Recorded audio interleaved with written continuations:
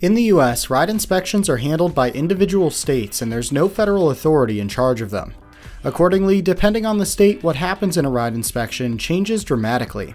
Today we'll be looking at some of the differences between states and how they inspect their rides. All of this data is provided by Rides database and the source can be found in the description if you're interested in learning more. Starting things off, there are 8 states where ride inspections are not handled by any state body. In these states, accidents may be investigated by local police departments, but there are no regular state inspections of rides and some accidents may go uninvestigated, especially if there are no injuries. These states are Alabama, Arizona, Mississippi, Montana, North Dakota, Nevada, South Dakota, and Wyoming. Many of these states do not have any rides, and some of them also have local bodies that do complete ride inspections, such as Las Vegas, Nevada, where the Clark County Division of Building and Fire Prevention performs ride inspections and accident investigations. Moving up a level, one state, Idaho, completes only electrical inspections of rides and does not inspect water slides. Nine states have some form of private sector oversight. This oversight does not always cover all ride types, and it generally consists of government bodies ensuring that a private third party entity has inspected a ride before it is allowed to operate. A few of these states are Delaware, Kansas, Minnesota, Oregon, Texas, and Virginia. These states have minimal oversight over rides directly, but do hire outside agencies to inspect rides on a somewhat regular basis, and they hire these agencies to investigate ride accidents. It should be noted that all states, except for the eight without regulations, require that rides be inspected at least yearly. 20 states have comprehensive oversight on ride inspections and accident investigations. This includes things such as multiple inspections per year, requiring rides to be ASTM F24 compliant, having a comprehensive ride permitting system, requiring owners to report most or all incidents, and requiring states to reinspect rides after these incidents. These states include Alaska, Arkansas, California, Florida, Georgia, Hawaii, Louisiana, Illinois, Kentucky, Massachusetts, Maryland, Maine, Michigan, North Carolina, New Hampshire, New Jersey, Ohio, Oklahoma, Pennsylvania, and Rhode Island. Some of these states also have some kind of state level ride safety advisory board.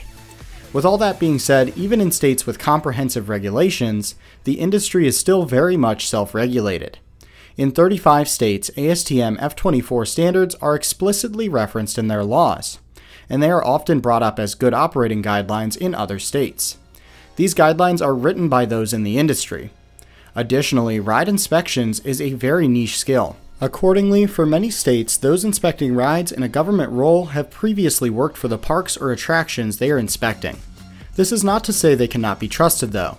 In fact, the extremely low amount of accidents that occur, especially in states with good regulations, speak to how well this system is working.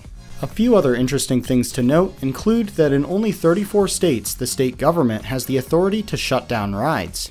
Keep in mind that localities may also have this ability. Nine states require that operators be older than 18 years old. This can create some awkward situations for parks like Carowinds, which is located on the border of North and South Carolina. On the North Carolina side of the park, all operators must be over 18, but on the southern side, operators may be under this age. Though it should be noted that there's no evidence of any connection between operator age and ride safety. All states with regulations require that rides be insured, and 38 states require that rides must be registered with the state in order to operate. Only 10 states require portable rides be inspected at each setup. All states with regulations inspect portable rides and amusement rides at small venues such as FECs. Most with regulations also inspect rides at large amusement parks, with the exception of Florida, which currently does not inspect rides at parks with more than 1,000 employees. This includes when accidents occur. Finally, the content of what occurs during a ride inspection varies from state to state, with some more progressive states in this area, such as Ohio, expanding to look at things like rust, as well as completing other checks like ensuring that a ride's control system works properly under all situations, properly shutting down the ride if anything unusual were to occur, as well as completing things like G-force testing to ensure that rides are ASTM compliant.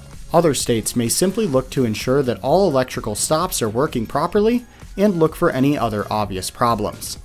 This is truly nuanced from state to state, and if you'd like to learn more, I would recommend reaching out to your state government to see what's involved. Additionally, the resource I used to create this video is linked in the description so you can learn more. Finally, I've also provided a link to a Google Drive that I have begun maintaining with all of the public ride safety data I've collected over my time researching this topic. The amusement industry truly wants to be as safe as possible, and having more eyes look over all of these ride safety topics is a good thing. As always, thanks for watching, and I'll see you next time.